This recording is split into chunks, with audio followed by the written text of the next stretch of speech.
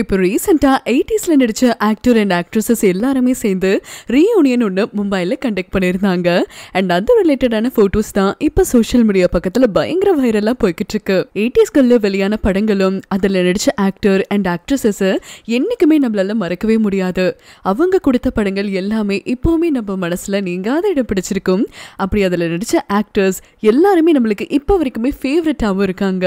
So இவங்க எல்லாருமே சேர்ந்து எயிட்டிஸ் ரீயூனியன் அப்படிங்கிறத மும்பையில் கண்டக்ட் பண்ணியிருக்காங்க மறக்காம எவ்ரி இயர்ஸ் இவங்க எல்லாருமே ஒன்று கூடி இந்த ஒரு ஃபங்க்ஷனை தவறாமல் அட்டென்ட் பண்ணிட்டு வந்துட்டு இருக்காங்க இவங்களோட ஃப்ரெண்ட்ஷிப் பாண்டை மெயின்டைன் பண்ணுறதை பார்க்கும் பொழுது நம்மளுக்கே ரொம்ப சந்தோஷமாக இருக்குது அண்ட் இந்த வாட்டி என்ன ட்ரெஸ் கோட் வந்து ஃபாலோ பண்ணியிருக்காங்க அப்படின்னா ஆரஞ்சு கலர் ட்ரெஸ் கோட் தான் ஃபாலோ பண்ணியிருக்காங்க ஒவ்வொரு வருஷமும் இவங்க வந்து டிஃப்ரெண்ட் டிஃப்ரெண்ட் கலர்ஸில் ட்ரெஸ் கோட் ஃபாலோ பண்ணுவாங்க. ஸோ அந்த வகையில் லாஸ்ட் இயர் இந்த கொரோனா டைமில் மட்டுமே அவங்க வந்து ஃபங்க்ஷன் கண்டக்ட் பண்ணல. பட் இந்த டைம் மறுபடியுமே அதை கண்டக்ட் பண்ணியிருக்காங்க ஸோ அப்படி தான் ஆரஞ்சு ட்ரெஸ் கூட இவங்க வந்து ஃபாலோ பண்ணியிருக்காங்க அதுக்கு முன்னாடி வந்து black colour white and purple அப்படின்னு பல டிஃப்ரெண்ட்டான கலர்ஸில் அவங்க வேர் பண்ணிட்டு வந்திருந்ததை நம்ம பார்த்துருந்துருப்போம். ஸோ மும்பையில் நடந்த இந்த எயிட்டிஸ் ரியூனியன் ஃபங்க்ஷனில் எந்தெந்த செலிபிரிட்டிஸ் கலந்துக்கிட்டாங்க அப்படிங்கிறத தான் இந்த வீடியோவில் பார்க்க போகிறோம் அண்ட் சொல்லி ஆகணும் சவுத் இண்டஸ்ட்ரியை சேர்ந்த பல பேருமே இந்த ஃபங்க்ஷனில் கலந்துக்கிட்டாங்க. ஃபங்க்ஷன் போய் இவங்க எல்லாருமே சேர்ந்து குரூப்பாக ஒரு ஃபோட்டோ எடுத்திருக்காங்க. அதில் பார்த்தீங்கன்னா ஆக்ட்ரஸ் ரம்யா கிருஷ்ணன் குஷ்பு சுஹாசினி பூர்ணிமா பாக்யராஜ் ராதா ரேவதி நதியா சோபனா மதுபாலா லிசி சரிதா வித்யாபாலன் அப்படின்னும் அண்ட் அதே மாதிரி ஆக்டர்ஸில் அர்ஜுன் பாக்யராஜ் சிரஞ்சீவி அனில் கபூர் அனுபம் கீர் வெங்கடேஷ் அண்ட் ஜாக்கி ஷ்ராஃப் அப்படின்னு சொல்லி பல பேருமே இதில் கலந்துருந்தாங்க. இந்த ஃபோட்டோஸ் எல்லாமே சோஷியல் மீடியா பக்கத்தில் வைரல் ஆகிட்டு வந்துட்டு இருக்கவே உங்களால் எங்களுக்கு நிறைய நல்ல ஃபிலிம்ஸ் கிடைச்சிருந்துச்சு அப்படின்னும் கண்டிப்பாக உங்களை அவ்வளோ ஈஸியாக யாராலையுமே மறக்க முடியாது. உங்களுக்கான பிளேஸை யாராலையுமே ரிப்ளேஸ் பண்ண முடியாது அப்படின்னு சொல்லி ஃபேன்ஸ் எல்லாருமே கமெண்ட்ஸ் மூலியமாக ஷேர் பண்ணிட்டு இருக்காங்க இந்த வீடியோ உங்களுக்கு பிடிச்சிருந்தா லைக் பண்ணுங்க. மறக்காம இந்தியா கிளிக் சேனலுக்கு சப்ஸ்கிரைப் பண்ணுங்க.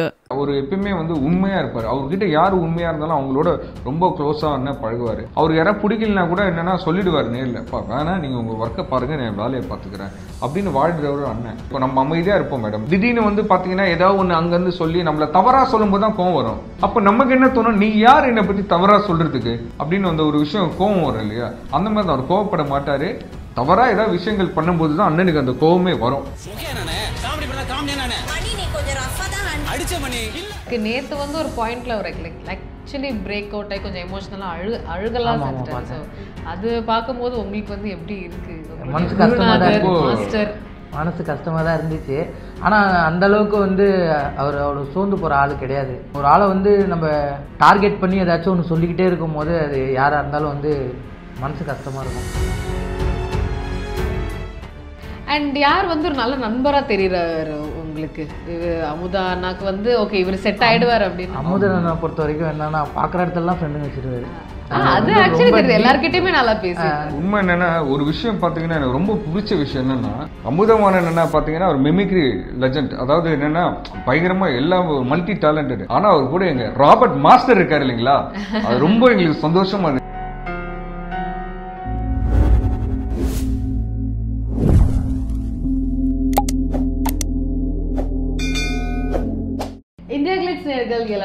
ஹாப்பி வணக்கம். ஸோ இன்னைக்கு நம்மளோட கெஸ்ட் யார் அப்படின்னு பார்த்தீங்கன்னா ஒரு ஸ்பெஷல் கெஸ்ட் அப்படின்னு வந்து சொல்லலாம்.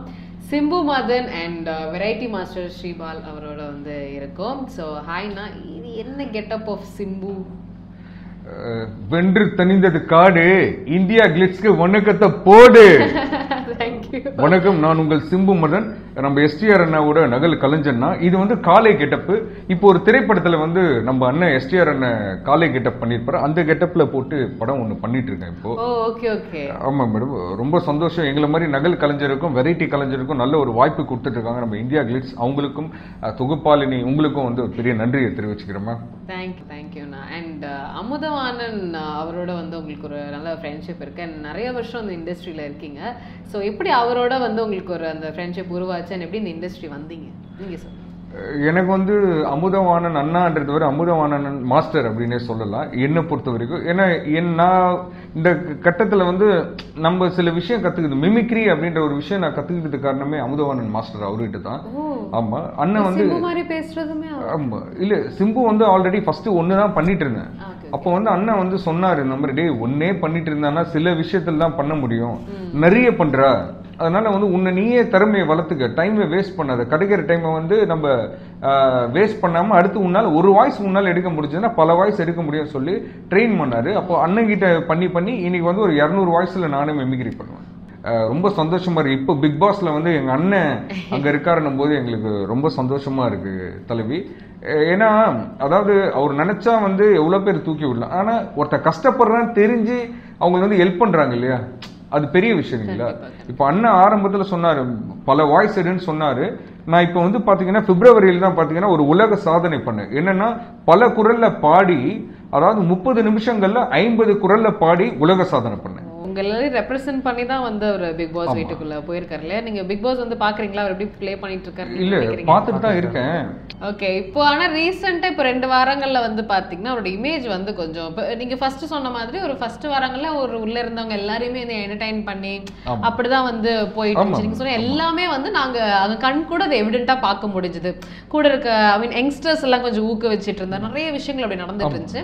இப்போ அப்படியே அந்த இப்போ இருக்க இந்த ரெண்டு வாரங்கள்ல வந்து நிறைய சண்டைகள். அவங்க கூட இருந்தவங்களே கூட வந்து இல்லைண்ணா நீங்க வந்து கொஞ்சம் அதிகமா பேசுறீங்க. நீங்க ஃபேக்கா பேசுறீங்க. அப்படின்ற மாதிரிலாம் கொஞ்சம் நெகட்டிவா வந்து ஒரு சத்தியமா ஒரு ஃபேக்கா பேசுறது கிடையாது. இல்ல பதினாறு வருஷம் நாங்க டிராவல் பண்ண முடியாதுங்க எங்க அண்ணன் கூட. கரெக்டுங்களா மேடம் ஏன்னா வந்து அவர் எப்பயுமே வந்து உண்மையா இருப்பார். அவர்கிட்ட யார் உண்மையா இருந்தாலும் அவங்களோட ரொம்ப க்ளோஸா அண்ணன் பழகுவாரு. அவர் யாராவது பிடிக்கலனா கூட என்னன்னா சொல்லிடுவார் நேர்ல. "அப்பா, வேணாம் நீங்க உங்க ஒர்க்கை பாருங்க நான் வேலையை பார்த்துக்கிறேன். அப்படின்னு வாழ்றவர் அண்ணன். அந்த மாதிரி தான் எனக்கு இன்னொன்னும் அதான் பார்த்தீங்கன்னா அவர் ரொம்ப தான் என்னன்னா ஒருத்தர் சாஃப்டா இருக்கும்போது அவர் வந்து தேவையில்லாத விஷயங்கள் திணிக்க திணிக்க தான் நம்ம கோவம் வரும். இப்போ நம்ம அமைதியா இருப்போம் மேடம் திடீர்னு வந்து பாத்தீங்கன்னா ஏதாவது ஒண்ணு அங்கிருந்து சொல்லி நம்மள தவறா சொல்லும்போது தான் கோவம் வரும். அப்ப நமக்கு என்ன தோணும்? நீ யார் என்னை பத்தி தவறா சொல்றதுக்கு? அப்படின்னு அந்த ஒரு விஷயம் கோவம் வரும் இல்லையா? அந்த மாதிரி தான் அவர் கோவப்பட மாட்டாரு. தவறா ஏதாவது விஷயங்கள் பண்ணும்போது தான் அண்ணனுக்கு அந்த கோவமே வரும். மற்றபடிலாம் யார்கிட்டயும் அவர் கோவப்பட்டதே கிடையாது. ரொம்ப அன்பானவர் ரொம்ப சப்போர்ட்டா இருக்கிறவர் எங்களுக்கு. நெகட்டிவ்ஸ் நிறைய வரும்போது தான் டென்ஷன் அவர் டென்ஷன் ஆகுறாரு கோவப்படுறாரு அப்படின்னு வச்சுக்கோங்களேன். அது காரணம் வந்து அவரா இருக்க முடியாது. மத்தவங்க தான் அவர் வந்து ப்ரெஷர் ஏதாவது கொடுத்துருக்கலாம். அந்த மாதிரி விஷயங்கள் தான் வந்திருக்கு மேடம். அது கேம் ஷோ தானே மேம் ஆ கேம் அது கேம் ஷோ ஒரு கேமுங்கும் போது எயித்தாப்ல எதிரின்னு ஒருத்தர் இருந்து தானே ஆகணும். கண்டிப்பா ஆ, கண்டிப்பா. அது நார்மலா பேசுறத வந்து திருப்பி போடுறாங்க அவ்வளவுதான். அண்ட் உங்களுக்கு வந்து அவர் கூட வந்து இப்போ கூடவே இருந்து அவர் சரியா புரிஞ்சுக்காதவங்க கண்டஸ்டன்ஸ்னா நீங்க வந்து யாரை சொல்வீங்க நிறைய பேர் அவங்க ஜனனி ராபர்ட் மாஸ்டர் ரச்சிதா இவங்க எல்லாருமே அவங்க கூடவே டிராவல் பண்ற ஒரு கேங்கா தான் இருக்காங்க. ஸோ அவங்கெல்லாம் வந்து யாரும் புரிஞ்சுக்கல அப்படின்னு நீங்க நினைக்கிறீங்க? பேர் அசாரா ஒரு அசீம். அசீம். அவரு. ரெண்டு பேருக்கும் தான் அப்பப்போ வாக்குவாதம் வந்துட்டு ஏன்னா நேத்து எபிசோட் கூட பார்த்தேன். ஒருத்தவங்க வந்து பேசுறாங்கன்னா முதல்ல ஒரு அவங்க என்ன பேசுறாங்கிறத கேட்கவே மாட்டுறாரு இப்போ அமுதண்ணா விக்ரமம் அவர் உட்காந்து பேசிட்டு இருந்தாங்க. ஜனனி அவங்க இருந்தாங்க. வந்த உடனே நீ எதுக்கு சொல்றது? நான் எதுக்கு கேட்கறது அப்படிதான் எடுத்தெறிஞ்ச மாதிரி பேசுறாரு தவிர அவர் தான் ஆப்போசிட்டா இருப்பாரு. அண்ட் யார் வந்து ஒரு நல்ல நண்பரா தெரியறாரு உங்களுக்கு? அமுதா அண்ணாக்கு வந்து ஓகே இவர் செட் ஆயிடுவார் அப்படின்னு. அமுதண்ணனை பொறுத்த வரைக்கும் என்னன்னா பாக்குற இடத்துல ஃப்ரெண்டுங்க வச்சிருவாரு. அது ஆக்சுவலி தெரியுது. எல்லார்கிட்டயுமே நல்லா பேசி உண்மை என்னன்னா ஒரு விஷயம் பாத்தீங்கன்னா எனக்கு ரொம்ப பிடிச்ச விஷயம் என்னன்னா அமுதமான என்ன பார்த்தீங்கன்னா ஒரு மிமிக்ரி லெஜண்ட் அதாவது என்னன்னா பயங்கரமா எல்லாம் மல்டி டேலண்டட் ஆனா அவர் கூட எங்க ராபர்ட் மாஸ்டர் இருக்காரு இல்லைங்களா? அது ரொம்ப எங்களுக்கு சந்தோஷமா இருக்கு ஏன்னா அவர் அவரும் வந்து பாத்தீங்கன்னா பயங்கரமான ஒரு டான்ஸ் லெஜண்ட் ராபர்ட் மாஸ்டர் அவங்களும் பார்க்கும்போது நம்ம அண்ணனையும் பார்க்கும்போது எங்களுக்கு ரொம்ப சந்தோஷம். ரெண்டு பேர். ஸோ மற்றவங்க ஒவ்வொருத்தர் ஒரு இதில் இருக்காங்க. பட் நாங்கள் ஆரம்பத்துலேருந்து பார்த்துட்டு வர்றது வந்து இவங்க க்ளோஸாக பழகுறவங்க. ராபர்ட் மாஸ்டர் கூட ஃபோன் பண்ண கூட அவர் பேசுவார். ஆமா பேசும்போது ஹாய் டார்லிங் எப்படி இருக்க? நல்லா இருக்க நீ நல்லா வருவ. உனக்கான டைம் வரும் கரெக்டாக அப்போ கண்டிப்பாக உனக்கான சான்ஸ் வரும். நாங்கள் எப்பயுமே சப்போர்ட் பண்ணுறோம் அப்படின்னு சொல்லி ராபர்ட் மாஸ்டர் சொல்லுவார். அமுதானாவும் அதே தான் வெயிட் பண்ணுற உனக்கான டைம் வரும். ஆனால் டைம் வேஸ்ட் பண்ணாத நீ மன அடுத்தடுத்து போயிட்டே இருக்கு. நான் கரெக்டான ஒரு சந்தர்ப்பம் வரும்போது திரைப்படங்களை நம்ம சேர்ந்து பண்ணுவோம். ஸோ ரெண்டு பேரும் வந்து பிக் பாஸ்ல இருப்பாங்கன்னு ரொம்ப எங்களுக்கு ரொம்ப பெருமை ரொம்ப சந்தோஷம். நாங்கள் ஏன்னா வந்து எங்கள்லேருந்து உருவானவங்க.